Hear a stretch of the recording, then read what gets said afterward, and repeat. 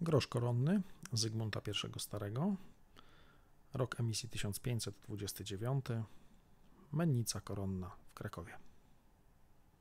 Pozycja 173, aukcja 12 gabinetu numizmatycznego Damiana Marciniaka.